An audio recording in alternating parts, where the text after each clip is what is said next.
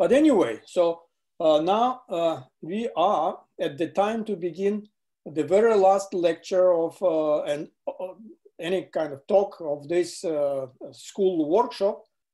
And this is the second talk, talk of uh, David Krieg. So David, you are welcome. Yes, thank you again. Um, yeah, well, Lottie already said this is the second talk. Um, so I will shortly recap what I did yesterday for those who weren't there. And um, so in contrast to many of the other talks, I'm not talking about spaces with mixed smoothness and um, least squares methods, but rather about um, classical Sobolev spaces with isotropic smoothness. But I pose for this classical spaces um, a more difficult question. Namely, I want to characterize the error for, um, for arbitrary sampling points and not just for, um, uh, not just find any uh, good sampling point set, which is uh, also very interesting, of course, but um, often you cannot choose sampling points. Um, so, huh? ah, okay, here. So here was the problem. Um, omega is a bounded and convex set in RD, and we have some normed space of functions, which is the Sobolev space on um, this domain, and a set of sampling points, and then the uh, error for this set for LQ recovery, LQ approximation was defined like this. So this is the minimal worst case error of a um, function of an algorithm which uses this set of sampling points. Yeah, and I put a lin here if it's um, uh, if I only consider linear algorithms. And um, yes, as I said, we did this for classical Sobolev spaces. So um, weak derivatives up to order S should be in LP. And um, so where's the result? From last time. Summary was in the end.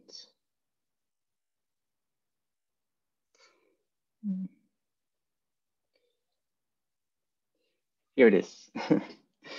so last time um, we uh, looked into this relation, um, which says that the error of a given point set is there are two cases. If we recover in the LQ norm and Q is greater than P, then it is basically determined by the covering radius of the point set. So um, we take the L infinity norm of the distance functions, which is the covering radius or um, the radius of the largest hole in the point sets to some power. And if Q is smaller than P, then is this is determined by some average hole size to the power S as a smoothness. And um, this average hole size is also called uh, the um, distortion of the point set. Yeah, we can also do this for non-integer integer smoothness, Triebel-Lizorkin spaces, and um, on manifolds. And yeah, so what does this mean? So uh, basically, you can give me any set of data, and I can tell you how good it is uh, up to constants. So very amazing. I was told yesterday I should be a little more enthusiastic. So, wow. okay, so for integration, it's the same as for L1 approximation. So we know now for any point set how um, we can determine how good it is. And um, the second question which I posed was, um, so how do we characterize um, for a sequence of point sets, um, when do they have the optimal order of convergence? So for mixed smoothness, we do not even know one. In some cases we do, but for mixed cases, for many cases, we do not even know one such sequence. And now we want to classify all such sequences for isotropic smoothness. And um, well, for this, we have to look into the optimal uh, distortion of point sets. And um, here uh, we see that the covering radius as well as the distortion is um, for optimal points of order n to the minus 1 over d. Many of you might have seen that, um, but let me shortly um, explain why this is the case. So for the upper bound, um, we have some bounded domain, which we can, of course, cover with um, n cubes, which have side length um, approximately n to the minus 1 over d.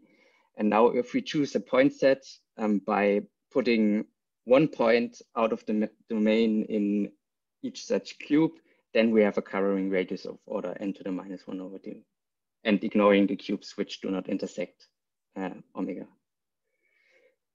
So this is an point set which yields the upper bound, and for every um, for every point set we have this lower bound for the um, average hole size. Um, why is that? Um, because uh, we can just do a volume argument. So um, if we have a domain and um, our point set, then we put a small ball um, around each point of radius cn to the minus 1 over d. And if we um, choose this constant c here, small enough, then the volume of the union of all these balls is at most half the volume of the whole domain which means on the other half of the domain, um, the distance to the point set is at least a constant times n to the minus 1 over d. Uh, so on half of, the domain, we have this uh, lower bound here. And so the L gamma norm is also larger than n to the minus 1 over d for every gamma. Yeah, so the minimal possible distortion is of order n to the minus 1 over d. And as we know um, that the error is described by this distortion, we can now say that um, a given sequence of point sets is order optimal for the LQ approximation problem on um, uh, the Sobolev space with smoothness S, uh, if and only if the distortion, uh, so the L gamma norm of the distance function is um, behaves like n to the minus one over d, where um, gamma uh, was this threshold for q smaller than p and just infinity for q larger or equal than p. Yeah, and of course we get the same for integration. Um, so if we want to consider the problem of numerical integration, then the point set is optimal if the L gamma norm um, with gamma being uh, S times 1 minus 1 over P to the minus 1 of the um, distance function is of order n to the minus 1 over d. So here's a simple example. Um, I just chose some parameters, um, namely uh, here I put, oh, sorry, smoothness equal to two. Yeah, um, dimension also equal to two and uh, also p equal to two, everything two. Um, and I consider this domain in R2 and I want to consider the problem of integration or L1 approximation. So Q is equal to one. And this means that um, the error is determined by the L gamma norm with gamma equal to four. So gamma was S times one minus one over P to the minus one. So it's equal to four. So the, um, the quality of the point set for this integration problem is described by the L4 norm of the distance function. And if we, for example, have a um, data set with um, one hole, which is larger, then we can say this one is still optimal um, if we have a hole um, of radius uh, n to the minus one over three. Um, even though the optimal covering radius would be n to the minus one half. So we might have a larger hole or several larger holes, um, which are um, uh, suboptimal by a polynomial factor, and still we get the optimal order of convergence. Okay, so this is a very simple example. It gets more involved, of course, if you have not this uniformity, but um, some very different uh, um, sizes of holes in the data set. But then you have just to compute the L-gamma norm. Okay. And so um, I come to the third question, which I asked, which was our original motivation. Namely, one, we wanted to know how good are random sampling points in comparison to optimal sampling points. So in particular, we consider the case that the, um, the sampling points, they come in independent and uniformly distributed. And yeah, we just have to deal with them and see how good we can be with them. We cannot choose them optimal.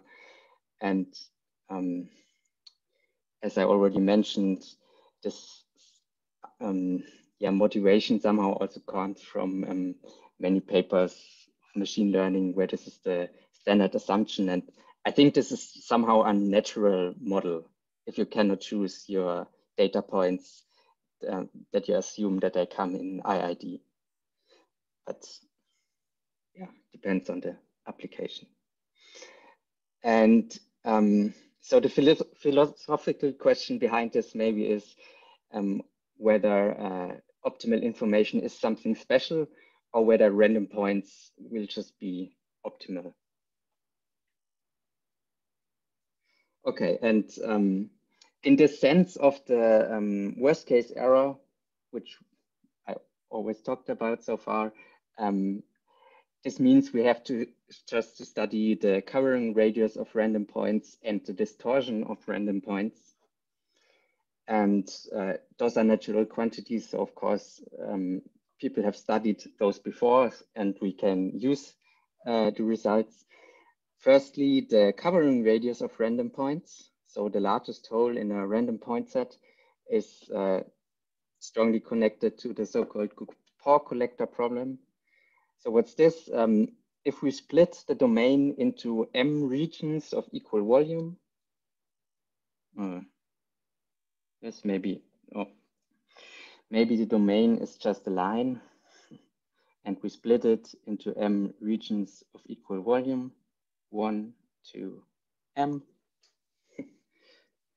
then um, we roughly need, so with very high probability, we need um, m times log m independent uniformly distributed points to hit all these um, regions, to have a point in each of these region, regions. Yeah. It's called coupon collectors problem because you can, of course, it's, it's a discrete thing. So the question is, if you want to gather a whole set of um, uh, maybe your favorite uh, football team um, coupons uh, and you draw one randomly each time you buy one, then um, the question is how long do you need to get a full set?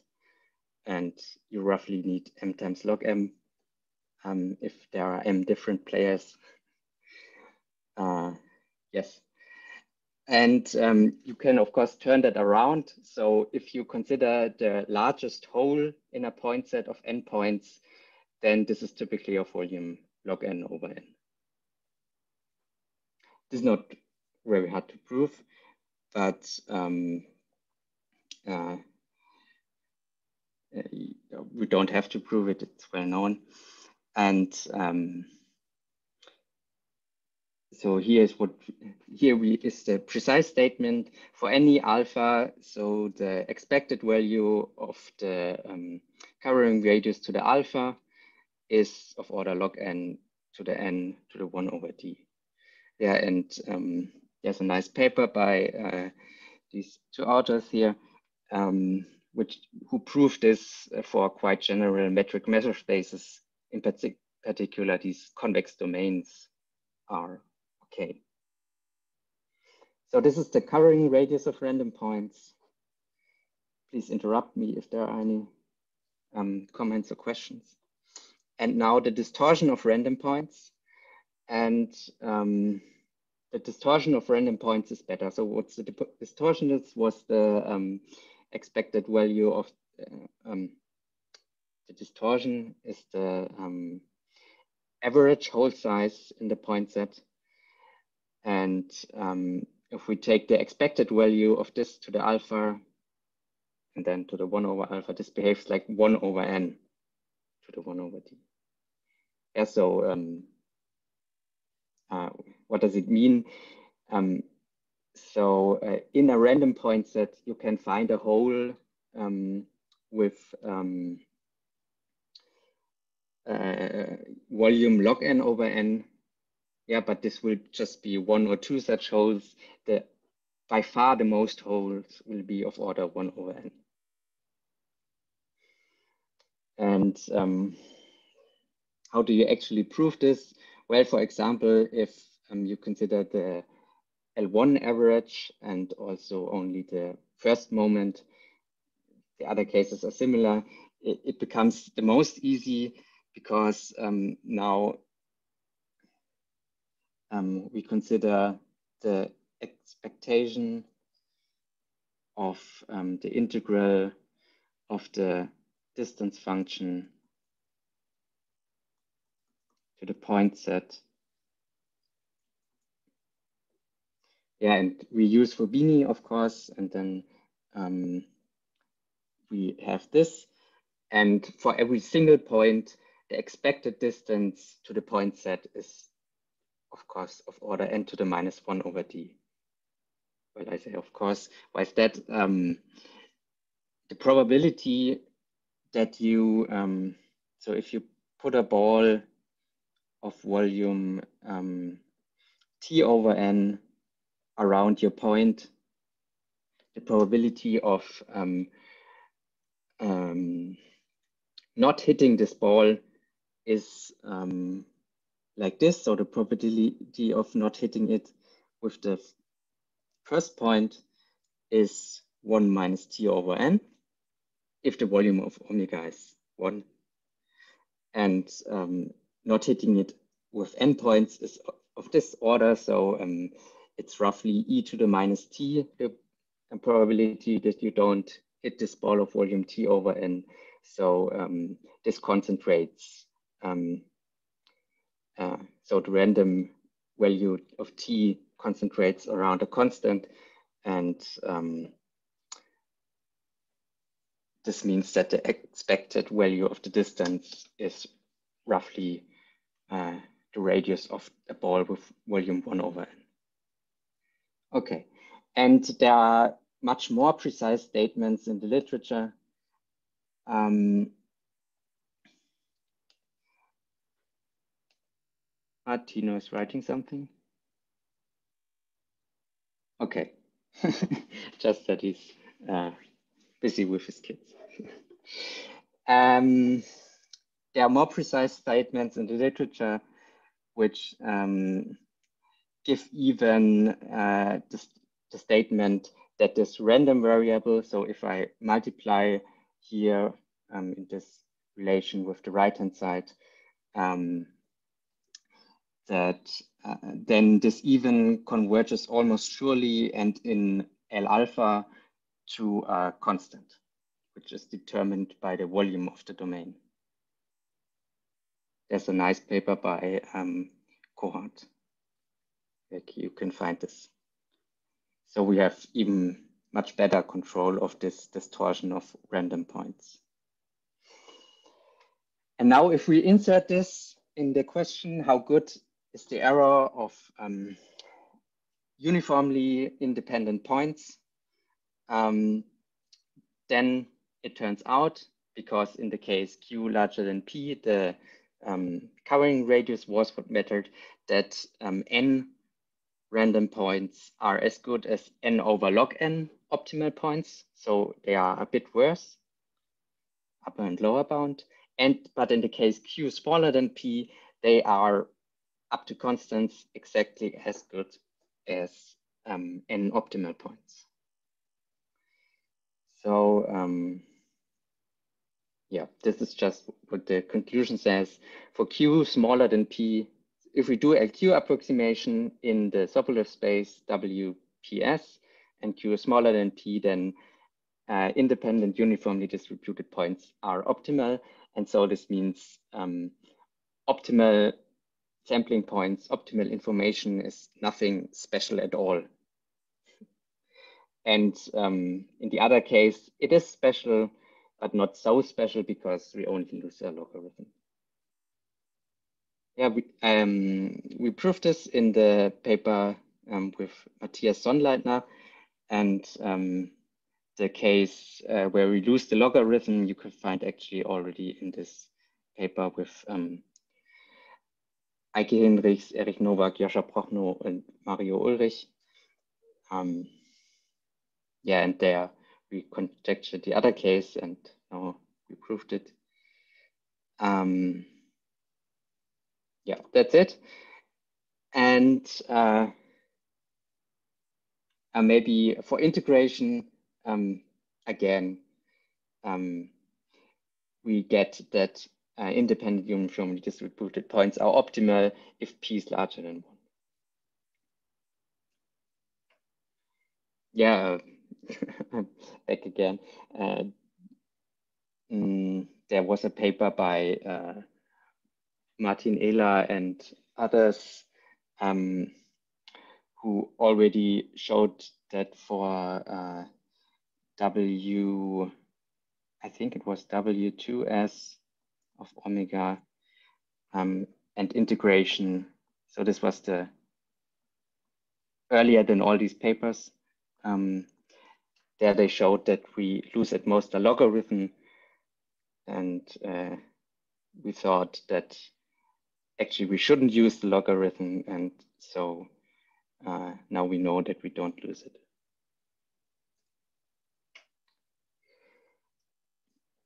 Okay, so um, still staying in the uh, setting where our information is get um, is obtained from um, independent uniformly distributed samples, it also makes sense to look at a different error criterion, namely the randomized error, which appeared um, in Albert's talk. Uh, let me shortly look in the chat. There's something else. Okay, nothing for everybody. um, uh, what's the difference? So now we take, um, uh, for the error, we take the expected distance of f and our approximation, and then take the supremum over the function class. Yeah, so we consider a randomized algorithm using random points and a random recovery map, and we take the supremum of the expected distance as our error criterion. And the difference is that previously we had the supremum inside. And um, yeah, already um, uh, Volodya and Albert in um, Albert's talk, they discussed about this difference a little. So it's both interesting. Um, of course, uh, if we have the supremum inside, then the um, quantity is larger. So the quantity we consider now could be smaller or the same, but it cannot be larger. And um, so what do both quantities mean? Um, if we consider um, this what we considered earlier, the expected value of this um, of the supremum, then this meant uh, that um, with high probability, so if this error is small, then with high probability, you have a small error for every function. And now for this weaker error criterion, um, we only want that um, for every fixed function with high probability, the error should be small. So this new error criterion fits better to the case that you have just one function which you want to approximate from this class, which you don't know. And the previous one was rather um, you have random points and you want to use them for many functions. Okay, so if you just have one function, you could consider this randomized error. And um, already it is uh, well known what one can achieve with optimal um, algorithms in this randomized setting. Um, we can define similar quantities as before. So um, the error, um, the randomized error for a given point set is now the minimal error of an algorithm which uses this point set. And um, yes, if I write little n here in the argument, this is the minimal error which can be achieved with um, n function values chosen randomly um, according to an arbitrary distribution which you like best.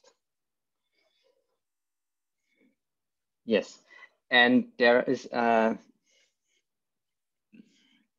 so as I said, you might hope that for this randomized error, you get a smaller upper bound. But that's not the case if you consider optimal points. So um, Peter Mathé proved um, that for the randomized error, you don't get anything better for this um, LQ approximation on Sobolev spaces um, if uh, than for the deterministic error. Yeah, um, in his paper, he actually only considered the cube, I think. But in this case, this doesn't matter because um, the upper bound is obvious and the lower bound um, can be applied um, also for other domains because our domain uh, contains a cube. So um, yeah, we do not gain anything compared to the deterministic error, and we may just as well consider um, this uniform deterministic error bound. Um, and optimal points are already given by this deterministic point with a small covering radius or small um, mesh size, as it's also called. Okay, one exception is that we now might also allow smoothness smaller than d over p. So the functions needn't be continuous anymore um, because in the randomized setting, uh, function values, it is enough if they are well, well defined almost surely, but I don't want to go into that. And um, yeah, so that's that about optimal points, but still we are in the um, in the setting that our information is given by independent uniformly distributed samples and we just have to deal with it. And now the question is, um, do we lose anything compared to optimal points, which we know are deterministic? And um, so this is now work in progress where also Erich Novak comes in and uh, we just proved that um, in this case, uh, IID uniformly distributed points are optimal for all q smaller than infinity. Yeah, so in the de deterministic case, they were only optimal if q is smaller than p. Now they are optimal for all q smaller than infinity. And um, yeah, this means that um, independent uniformly distributed sampling is no restriction. And you don't have to be sad if you just have this information available. And actually, we think that it also holds for q equal to infinity. And um, if in the case that p is not equal to infinity, um, but uh, we need to finish the proof there. Um, but we also, we do know that it is not optimal in the case p equal to q equal to infinity. So we actually, we think this is the only case where we uh, lose something compared to optimal points.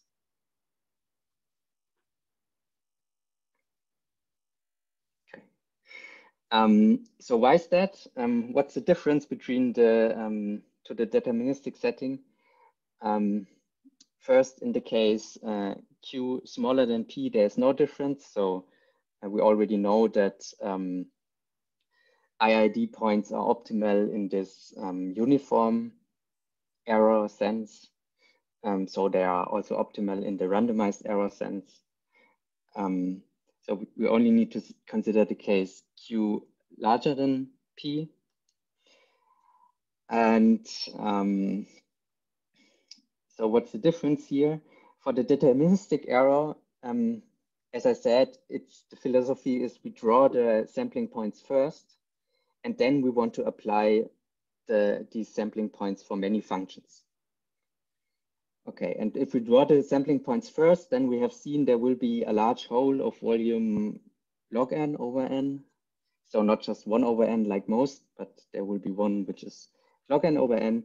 And if we now apply the points to a bump function in this large hole, um, then uh, no algorithm will be able to see this bump. So it cannot distinguish the bump from zero function or from its negative. And so the error is at least the QNOM of this bump. And um, yeah, so we will not be able to see this bump.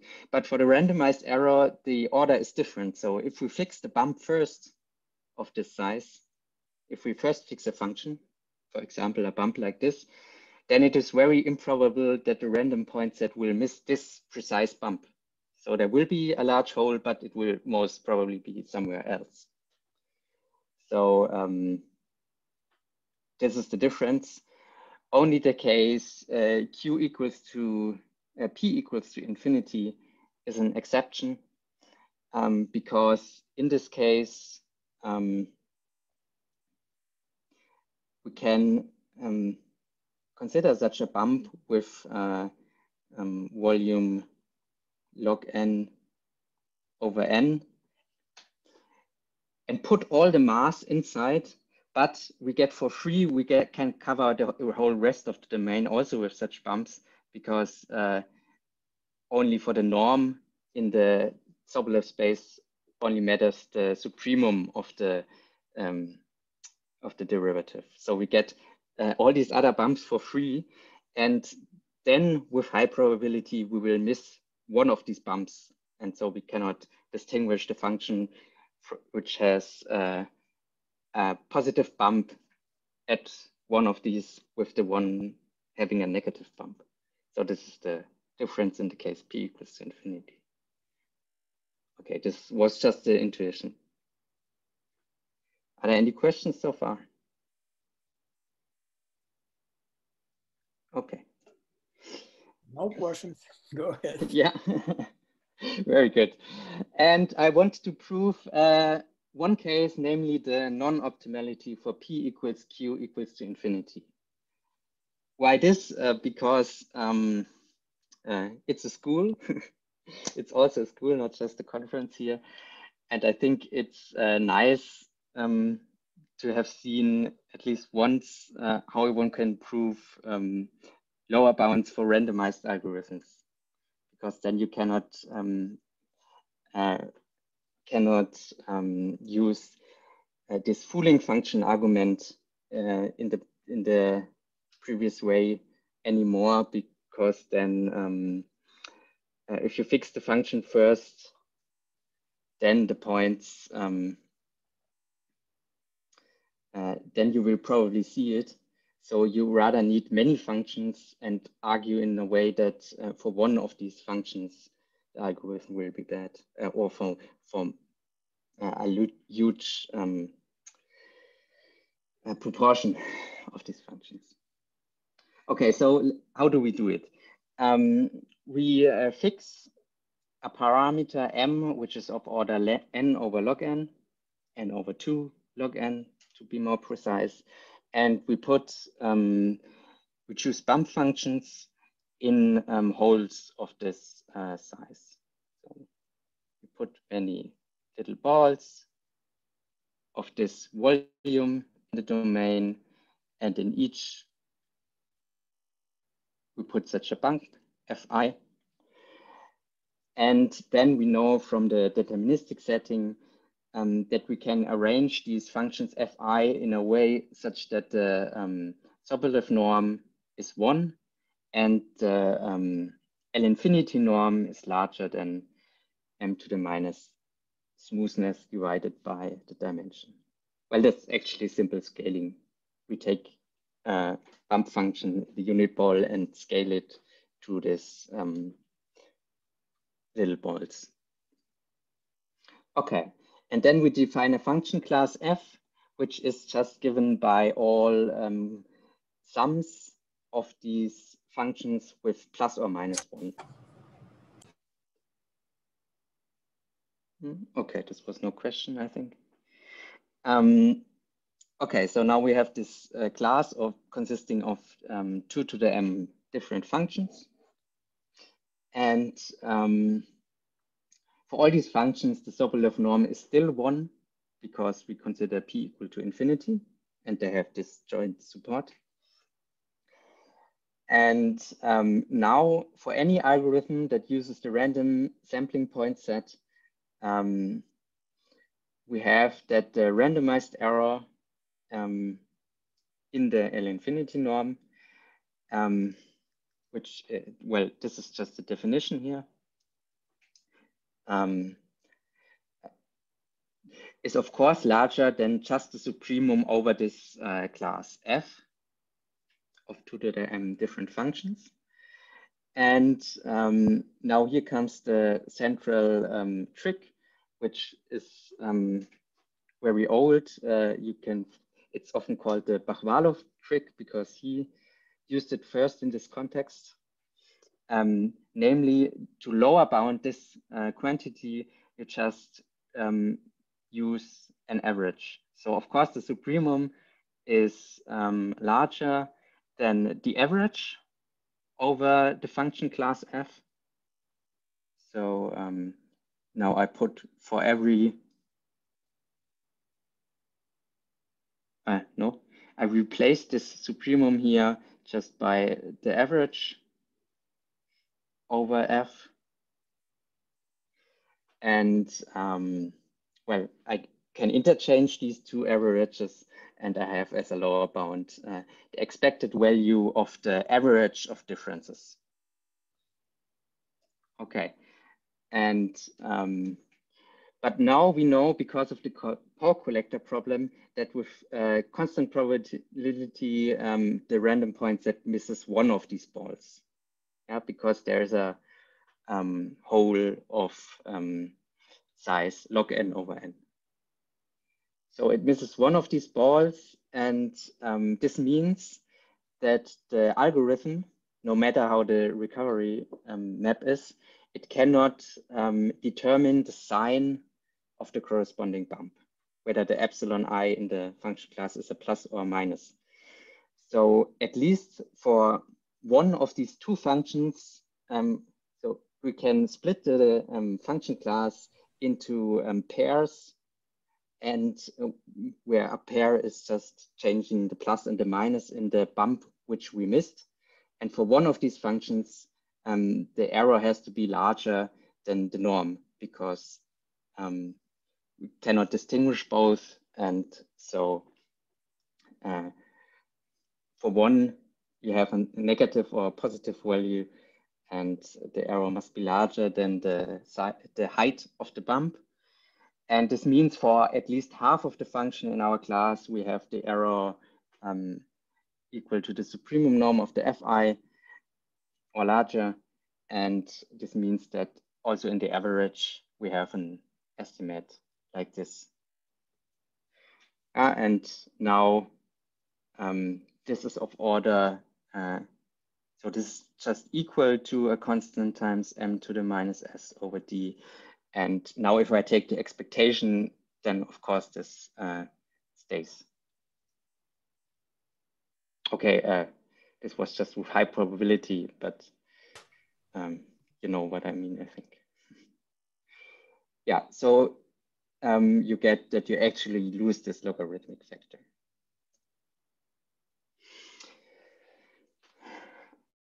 Okay, and upper bound for this, you have to wait for the paper.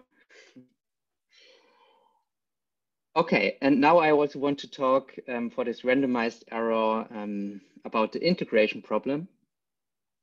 And um, the integration problem is very different because here you actually gain a lot if you consider the randomized error criterion instead of the deterministic error criterion. So um, uh, you, what do you gain? You gain this order n to the minus one half. And this can already be found in a paper by Bakhvalov from 1962. Um, he didn't uh, write down the proof, so I say stated. Um, if you actually want to see the proof, then um, you can, for the lower bound, you can look into um, the lecture notes of Erich Novak. And the upper bound, um, well, there are many papers about that. Um, e.g., for example, Stefan Heinrich has a nice uh, overview of those type of results. And mm, but I want to uh, tell you how the upper bound works. If you don't know yet, um, what do you do? You just do L2 approximation. And for L2 approximation, then um, you get uh, this kind of error.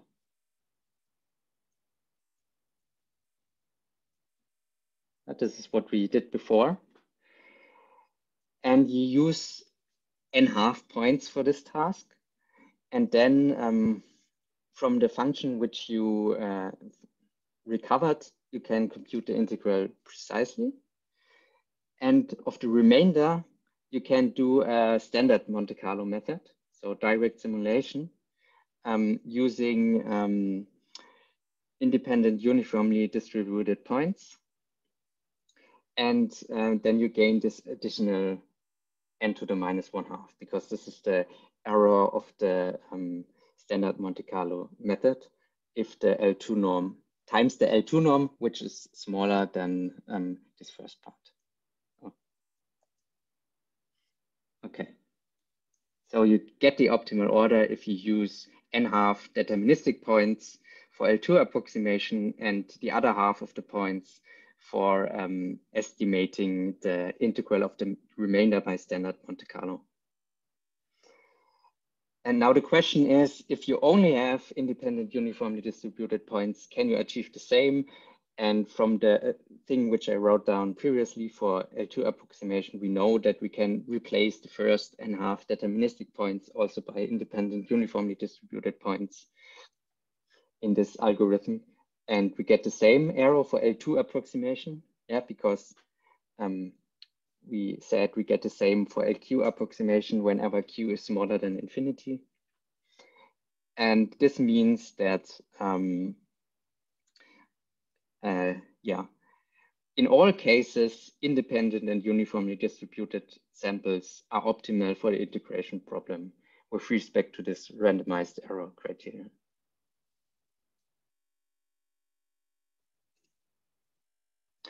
Okay, so these were the three questions which I wanted to ask um, uh, and answered more or less for the um, case of isotropic smoothness.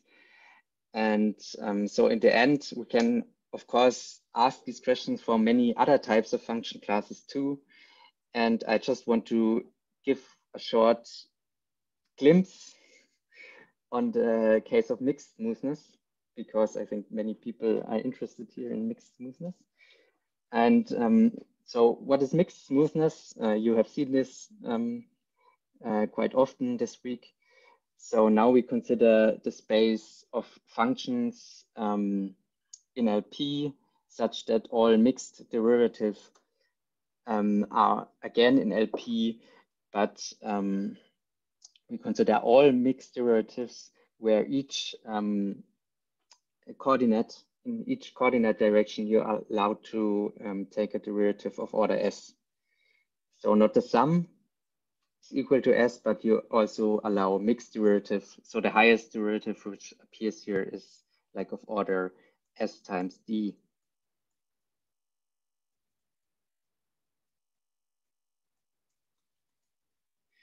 Okay, so this is a smaller class than um, class of isotropic smoothness S. And um, yes, you have seen it. And as a norm, you could take like the sum of all the LP norms. And this class is much harder to study. Yeah, um, I think Volodya said in the beginning of the conference that for um, uh, isotropic smoothness, uh, much is the same in d dimensions as it is in one dimensions proof technique uh, wise. Um, and um, this is not the case anymore for um, mixed smoothness. And so we consider only a special case. So we consider the case that oh, omega is the D torus. So basically it's a cube where um, opposite faces are identified. So it can be described by um, uh, Fourier coefficients with respect to the um, uh, ortho uh, with respect to the Fourier system, the trigonometric polynomials, and the Hilbert space case p equals to 2. Okay, and um, yeah, just as an example, because the Hilbert space case somehow seem, should be the easiest, most natural one. but maybe it isn't. okay, so what is known about optimal point sets? In the case that we do a Q approximation with Qs larger than two, then it know, is known that sparse grids are optimal. So they look like this in the picture. And uh, this was proven for the case of um, uniform approximation by uh, Volodya Temlyakov. And um, the proof for Q smaller than infinity can be found in a paper by Sung and Byrenheid and Tino Ullrich. Um, yeah, and it's all uh, an overview you can find in the book Hyperbolic Cross Approximation. And for Q smaller equal or equal than two, we still don't know any optimal point set. Um, so far, as you saw in Tino's talk, the best known point set is obtained um, via subsampling from, from IID uniformly distributed points.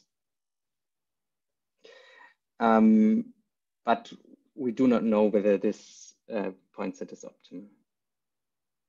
We do not even know the optimal order of convergence for this uh, um, problem. Uh, if you ask me, I would guess um, that actually you can get the optimal order of convergence by sub subsampling from um, a random point set of cardinality n times log n. But I'm not sure um, whether the subsampling procedure is already the right one. but it is just a guess. Okay, and what do we know about independent uniformly distributed points? Um, for the deterministic error, well, actually, we only know the case uh, P, uh, Q equals to 2, so L2 approximation. And uh, for the deterministic arrow, um, you've seen this in Mario Ullrich's talk. Um, we have proven an upper bound of uh, this form. So um, IID uniformly distributed points are at least as good as n over log n um, uh, optimal points. Okay, and of course they are not better than n optimal points. So somewhere in between. And what's the algorithm? The algorithm is a least squares method. In this case, um, for the torus, it's just uh, without weights. So with equal weights, I should say. And for the randomized error, on the other hand, we know that uh, independent and uniformly distributed points are optimal. Yeah, there's a multi-level Monte Carlo procedure with which we can obtain uh, the optimal order of convergence with independent and uniformly distributed points.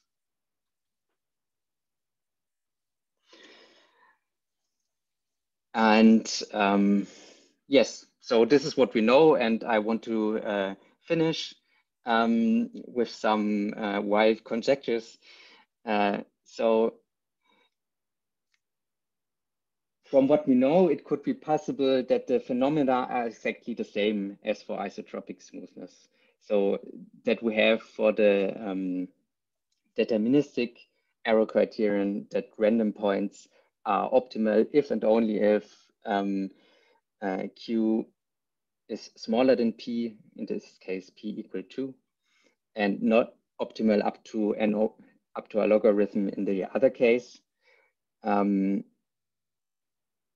yeah, it could be possible everything fits so far, but probably this is quite hard to answer because um, this would uh, mean, um, especially the first case would mean that um, we solve also the problem for the optimal order of convergence in this case, q equal to two. And so it must be hard to answer. And um, for the randomized error, it could also be possible that um, IID um, uniformly distributed points are optimal in all cases. But right now we only know the case Q equal to two.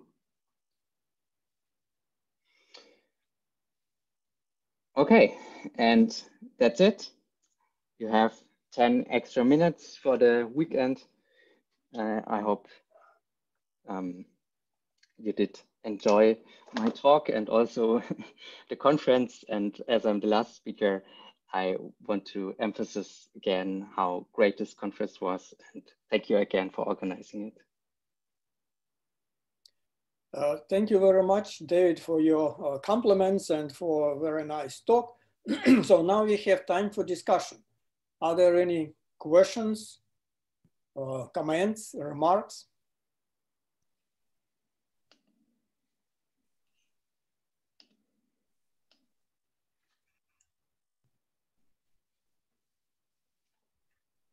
Maybe I can then ask one. Oh yeah, Can you, go ahead. can you explain wh- why this would solve the order of convergence? Well, Because you, we need the lower bound then, right? And that's not implied Yes. with this. Yes. So this this is only uh, it's not like there is an idea which would solve the problem. But if this statement was true, if we had such a lower bound, um, that this expected error is actually larger than this, then because of the upper bound which we already have, this means that this quantity here uh, has to be um, uh, smaller by this log n, and we would have um, the optimal order of No, convergence. but, no, but we could have the expect a lower bound for the ex expected error, but still be a point set which is better, right? Or, or what did I get wrong? Um, so we know an upper bound for, for this thing, which is like, uh, um, how is it, n to the minus s uh, log n to the s, uh, this one is d minus 1 um, uh, sd, I must say like this. And if we now compare these two things, then we would get an upper bound for the arrow with n points of this form n to the minus s log n to the s minus 1, right? And the lower bound is known.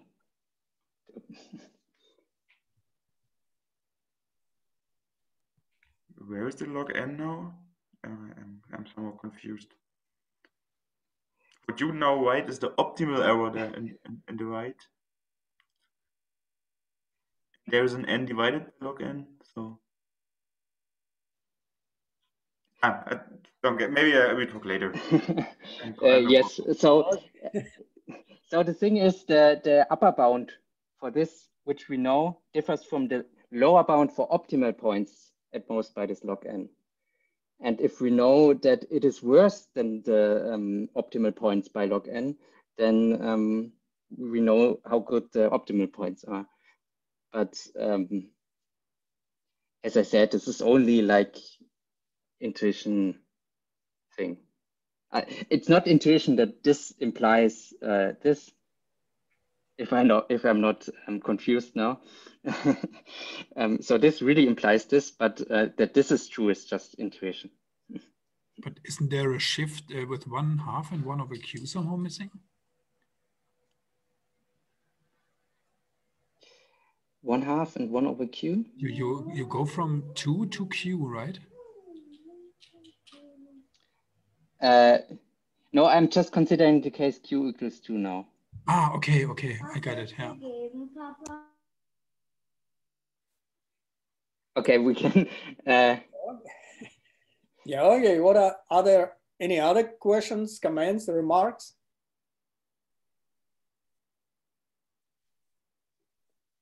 Uh, if not that, uh, let me uh, thank you all the speakers, all the lecturers, and the audience and everybody who participated.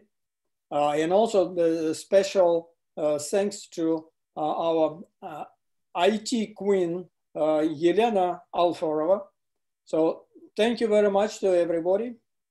And so we are done. Volodya, I also would like to thank the organizers for, for putting up such a nice conference.